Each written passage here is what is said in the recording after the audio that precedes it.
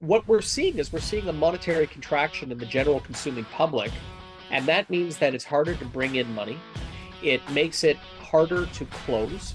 People generally are finding that the assignment market is now illiquid. Well, speaking of winners, we have a great guest for you guys right now. We're going to let him in because he's been waiting longer than even TK. Hello, can you hear me? Hello. Is uh, somebody out there? Anybody hear me? This is uh, Darryl the dude calling from Norway. Live from Norway. It's uh, Friday morning here and everything is uh, super hunky dory. You know, uh, what is going on? Just a couple of uh, young dudes uh, hanging out, uh, having a little fun. You know, some uh, having a little bit more fun than the other at the moment. Ooh-wee.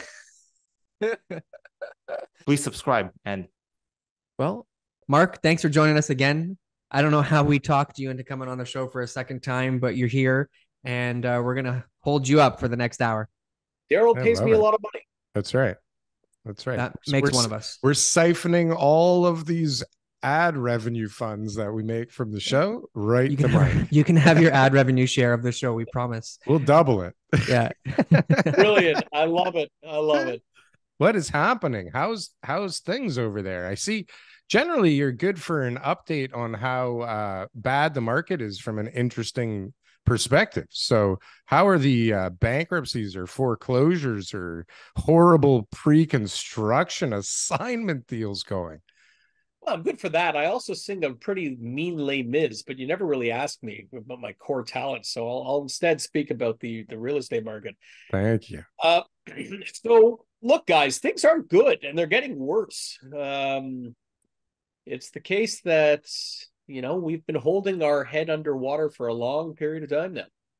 And that period of time is now really kind of making it so that people are sinking.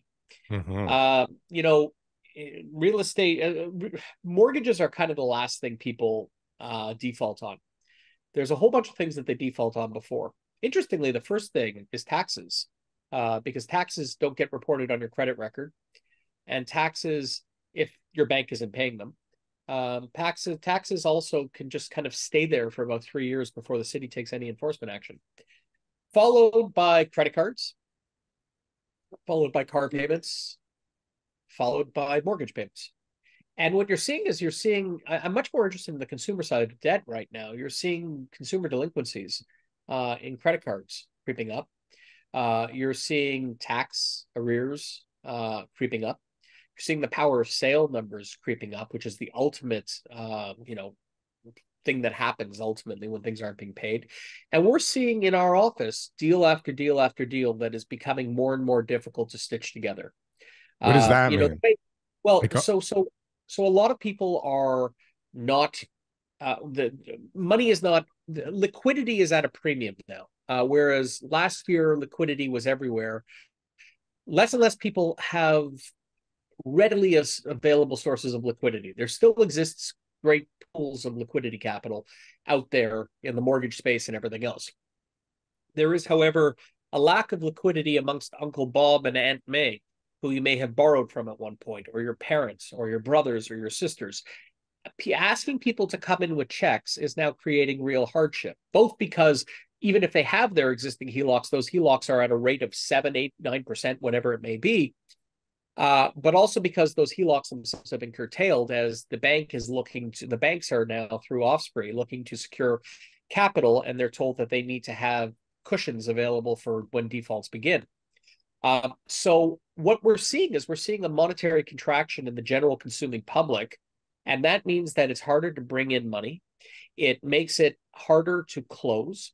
People generally are finding that the assignment market is now illiquid. I think it's I think it's safe to say near illiquid, meaning mm-hmm. that they don't have an out of properties for which they purchased on assignment.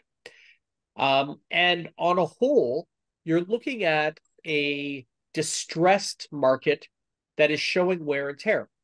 The high end market is one where there is an abundance of product, very few takers.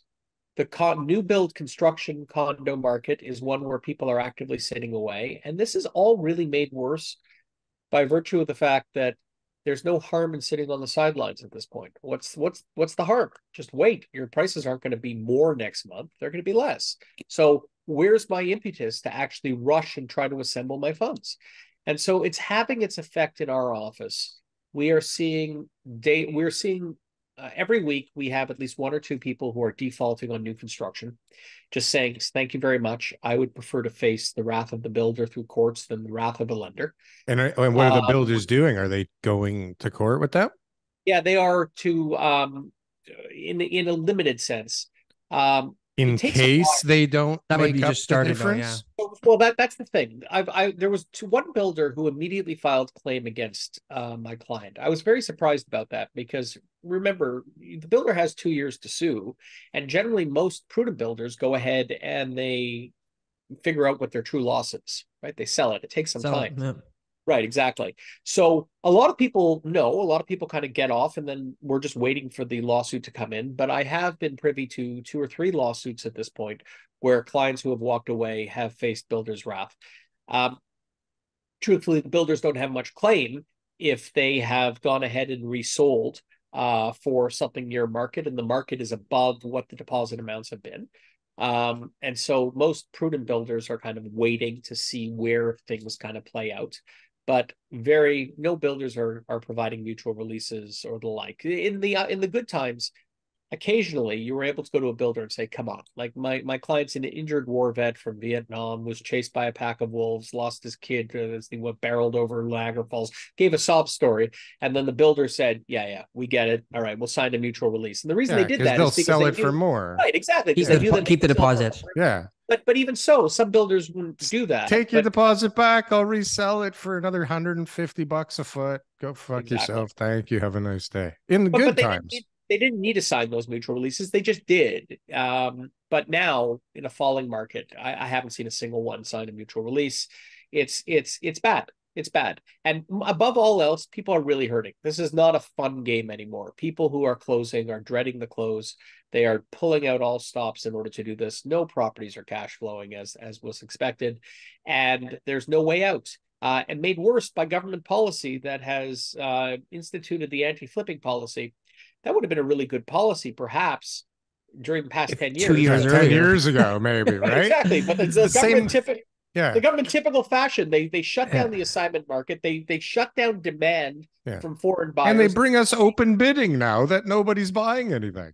Like, comment, and subscribe if you got anything from one of these clips. And if you want to see some more, press something on the screen here. Boom. That was good. That was good. That was good. I like that. That was good.